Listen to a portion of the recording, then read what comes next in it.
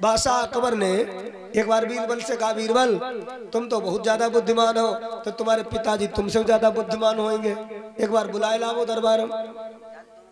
तो बीरबल ने कहा, हुजूर, क्षमा करें, वो नहीं आएँगे। अरे नहीं नहीं, बुला के लाना कल उनको। मेरा इतना तो कहना तुम्हें मानना ही होगा। अब बीरबल ब्राह्मण थे, हिंदू थे।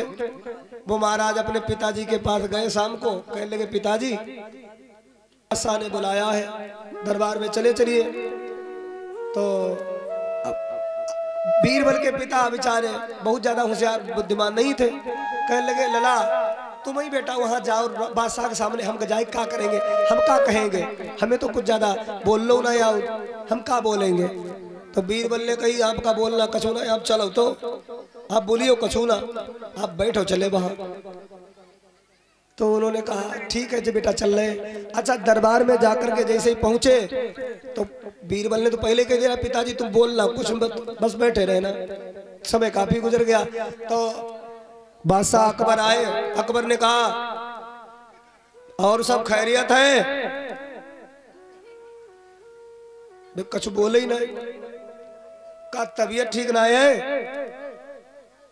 वे तहू नहीं बोले। का मौन व्रत ले बैठे हो वे तहू नहीं बोले। तो बीरबल से पूछा बीरबल देव तुम्हारे पिताजी हैं? बीरबल ने कहा हाँ हुजूर। कहा जी कुछ बोलते नहीं है। आ, कहा कि अब क्या बताएँ? थोड़ी देर फिर पूछा क्या बोल नहीं पाते? तो तहू नहीं बोले। अकबर ने बीरबल से कही बीरबल जा बताओ, यदि कोई मूर्ख से पाला पच जाए तो क्या करना चाहिए? तुम तो हमारे मंत्री हो कोई तरीका बताओ। तो बीरबल ने हाथ जोड़ी कई हुजूर, जो हमारे पिताजी कर रहे हैं।